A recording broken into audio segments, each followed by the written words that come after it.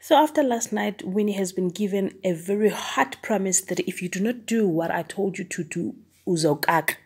So obviously she's bound to do whatever she's being told to do and it kept her devastated because she's not too sure what will happen next knowing what Mbali is capable of.